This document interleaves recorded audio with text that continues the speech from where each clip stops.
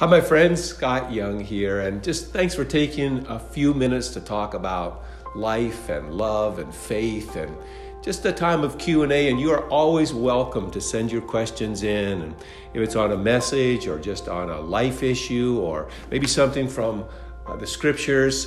Uh, recently i was talking with a group of people about noah's life of faith and uh, Hebrews chapter 11, verse 7 says that Noah built an ark of safety that saved his family. And someone um, raised this question uh, I have a loved one that's living far away from God.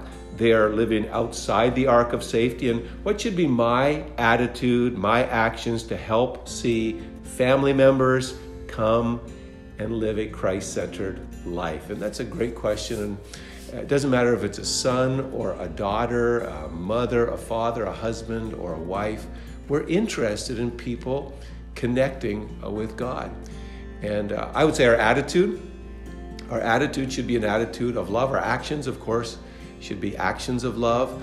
Um, Jesus said, Hey, you'll be known as followers of Christ if you love, especially if a family member already knows the story of Jesus, the gospel. That Jesus came down to ransom us on the cross, and He bought us a life of freedom if we receive that. He died and He rose again, the resurrection. If they already know the gospel, don't keep bringing it up every single time. Uh, maybe every once in a while in a card or a letter just to remind them of the gospel. But basically, you want to have an attitude of love. I don't think you're going to argue them back into the kingdom of God good discussion, I think, is healthy. But I think prayers, I think the attitude of prayer and the actions of prayer has incredible power. And there's a lot of great prayers that we can pray. And uh, here's a few ways that I would just think about praying for people that are far away from God. One is Jesus tells an incredible story in Luke. Luke chapter 15, he talks about a family member, a son, a prodigal that left the father's house and uh, wasted a lot of his life energy and finally ended up in a pig pen. And then there's an interesting verse in verse 17 that says, He came to his senses.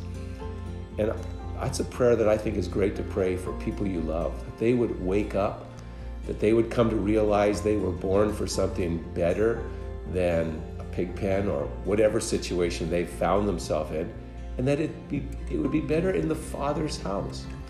And uh, this prodigal still had a lot of guilt and shame, but that was taken care of when he started walking back to God. God came, the father or the father heart of God came running towards that family member, wrapped his arms around them. And there was grace and there was forgiveness. And that's our prayer grace, forgiveness. But they have to wake up from the place they have been to a new place. Another version says that they came to themselves. They were born to be in the family of God. And we just want people to realize that.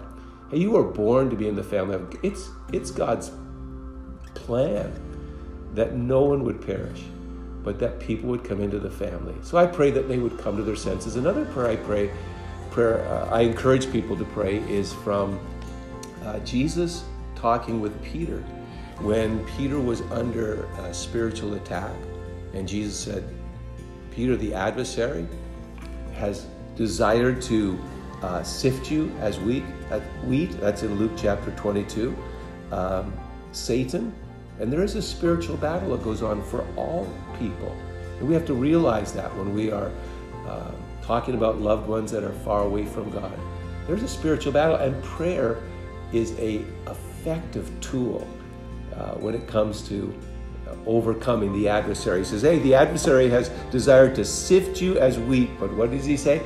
I have prayed for you. That's why I encourage you to pray for people that you love that are far away from God, because Jesus is praying for his friend Peter. And he prays this prayer that your faith would not fail. I think that's a great prayer. Pray they come to their senses. Pray that their faith not fail. Pray that their faith is strengthened. Pray that God will bring the right people around them to have a conversation of faith. Maybe not you, but uh, someone else that would come into their life. Pray against the adversary that comes to kill and to steal and destroy, and say, Lord, may faith overcome the adversary, and that they would turn back. And he says to Peter, When you turn back, I want you to strengthen your family, your brothers and your sisters. And that's our prayer that people would turn back to God. They would strengthen, they would be strengthened by God, and then they would be able to share that strength with others. So maybe we could just take a, a, a moment to pray for people that you love brother, a sister, a son, a daughter, a husband, a wife, and just pray these kind of prayers. So let's pray together just for a moment. Lord, we just simply uh, take a moment to pray for family members that are on our heart, that are far away from God. We pray that they would come to their senses. In the name of Jesus, we want them to wake up from darkness and come into the light. We pray that they would return to the Father's house and find grace and mercy and forgiveness. We pray that their faith wouldn't fail, that they would turn back to God again, and that they would be strengthened and give that strength to others. We bless our family members. We bless those we love. And we pray that everyone would be able to come into that ark of safety. We are praying for you. We'd love if you would uh, subscribe uh, to the channel. And we'd love that you would send in questions, and so we could just take some time and talk about what's on your heart and what's in your mind. Hey, thanks for spending this time with us. God bless you.